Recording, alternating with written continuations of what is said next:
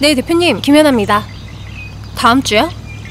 괜찮을 것 같은데요? 아우 감사합니다. 아유 근데 좀 쉬면서 하세요. 휴가도 좀 다녀오시고요. 저 동남아로 휴가 왔어요.